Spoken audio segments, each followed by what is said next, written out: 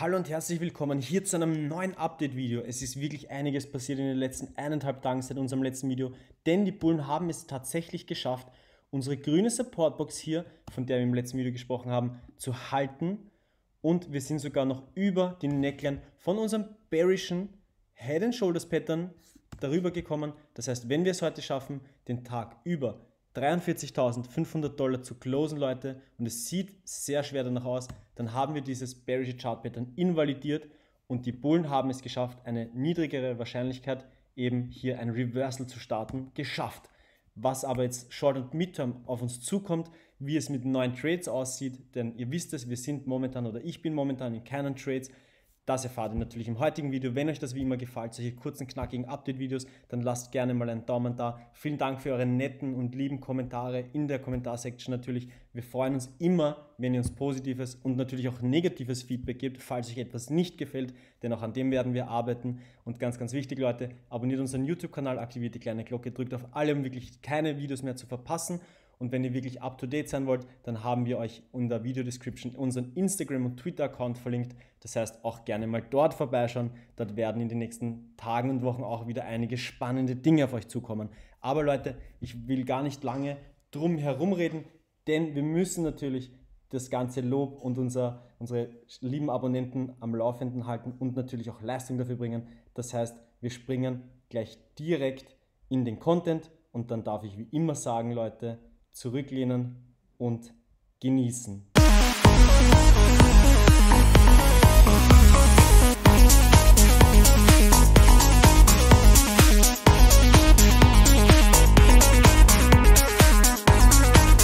Herzlich willkommen zurück, Leute, hier auf unserem YouTube-Kanal Blockchain Now. Für die Leute, die neu dabei sind, mein Name ist Alessandro und ich bringe euch wie immer ein gutes Krypto-Update zum Bitcoin US-Dollar-Chart.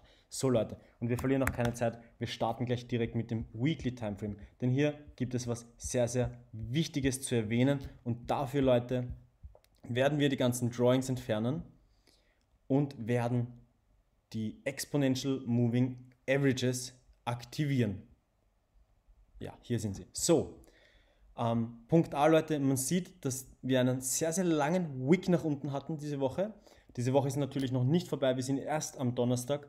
Und by the way, ich wünsche euch natürlich einen wunderschönen Donnerstagabend oder Freitag, je nachdem, wann ihr das Video seht. Ich hoffe, ihr hattet alle einen erfolgreichen Tag, aber die Woche ist ja noch lang. Und deswegen, wir sehen hier einen sehr, sehr starken Wick. Das heißt, wir haben noch viel Zeit für unsere Weekly Candle, aber es sieht sehr, sehr positiv trotzdem aus. Und was auch noch wichtig ist, Leute, wir haben über unserer gelben Linie die 21 Week EMA, also die 21 Exponential Moving Average Linie. Wenn wir dieses, diese halten können und wieder von ihr supported werden und darüber schließen, wäre das ein sehr, sehr starkes Zeichen von den Bullen, denn sie haben dann diese Linie wirklich sehr, sehr stark verteidigt. Gut, wir gehen am Daily Chart weiter, Leute. Es wird wirklich ein sehr, sehr kurzes Video heute. Und dazu werden wir unsere Drawings wieder aktivieren.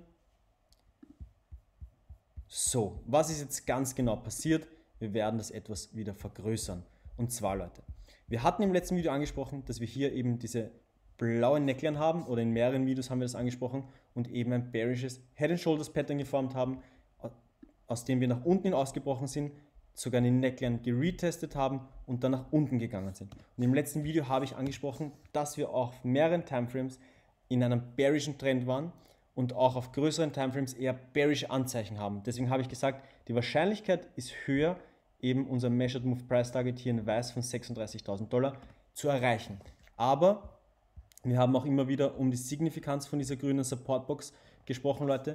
Und ihr seht, Dollar to Dollar, diese Supportbox hat als Support gehalten und die Bullen haben es eben wieder über diese Neckline geschafft. Warum bin ich jetzt noch nicht zu 100% bullish, Leute?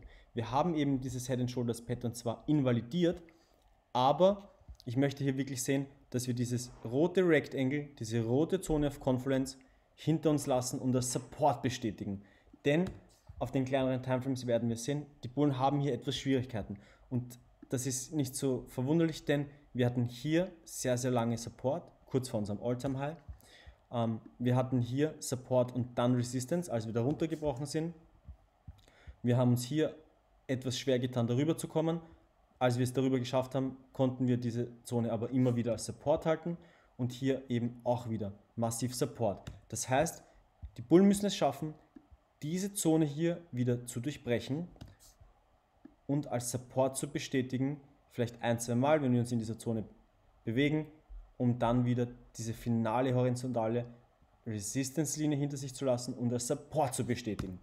Das heißt, ich werde jetzt übergeordnet Leute im Auge behalten, ob wir es schaffen, eben über die 45.150 Dollar zu kommen und eben, dass wir nicht mehr unter die 44.000 Dollar fallen. Das heißt, zwischen 44 und 45.000 Dollar ist momentan eine sehr, sehr wichtige Zone, die die Bullen brechen sollten.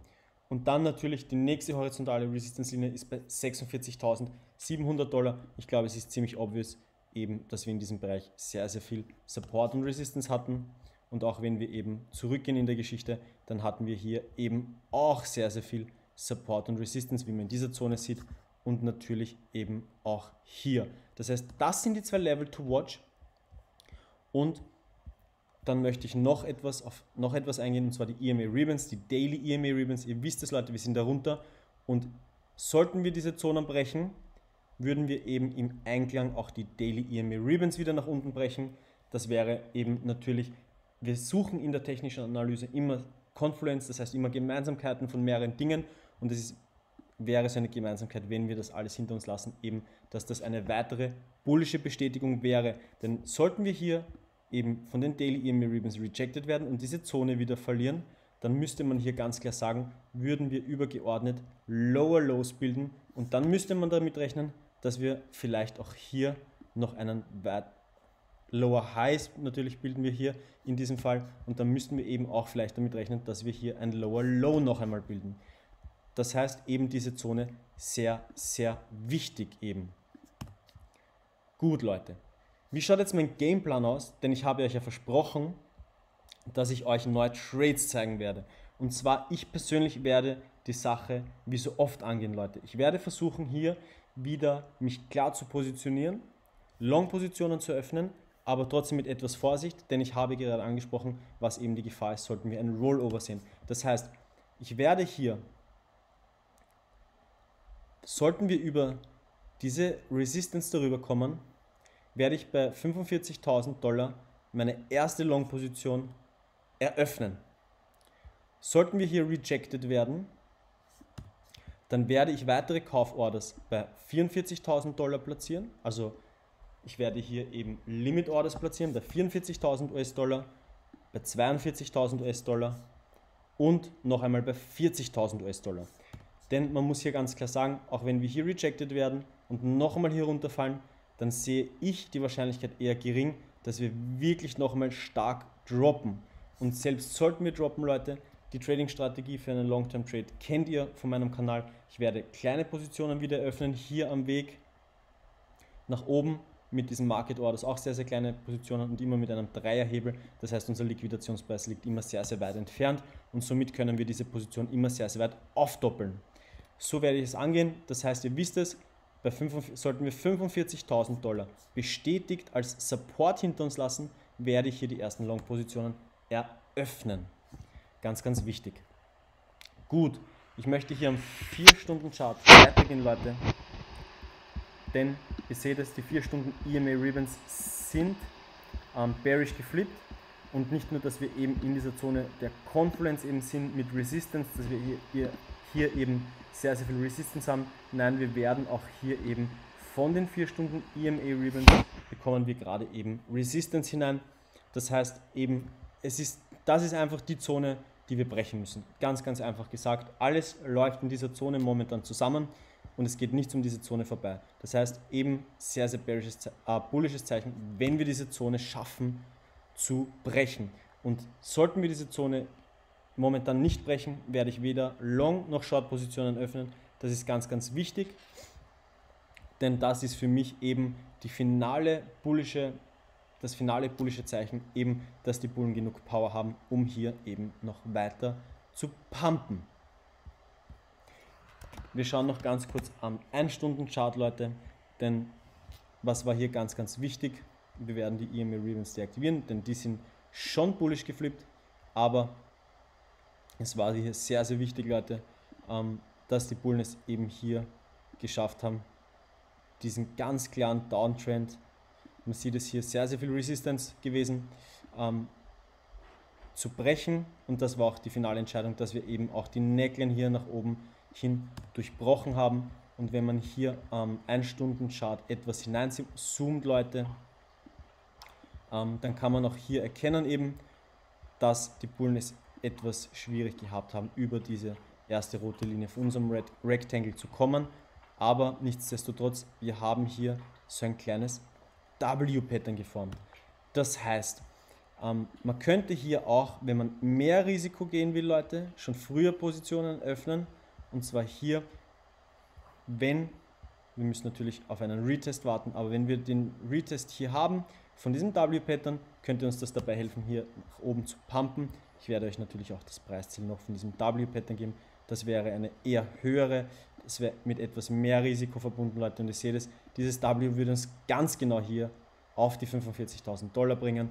Aber man könnte hier eben, wenn man einen besseren Einstiegspunkt haben will und etwas mehr Risiko gehen will, eben schon hier diesen Trader öffnen wenn wir einen positiven Retest haben. Retest heißt natürlich immer Resistance oder diese Neckline als Support bestätigen und mit viel Volumen und Follow-through weiter pumpen natürlich. Ganz, ganz klar. Gut Leute, das war es auch schon vom heutigen Video. Ich glaube, ihr wisst über alle brisanten und signifikanten Support- und Resistance-Zonen Bescheid. Das heißt, wenn euch das wie immer gefällt, lasst uns gerne einen Daumen da. Vielen, vielen Dank nochmal für eure lieben und netten Kommentare und euer Feedback. Das ist das, warum wir eure, diese Videos machen. Und wir hoffen euch natürlich, damit weiterzuhelfen. Also dann, Leute, habt's gut. Wir sehen uns morgen oder übermorgen schon im nächsten Update-Video.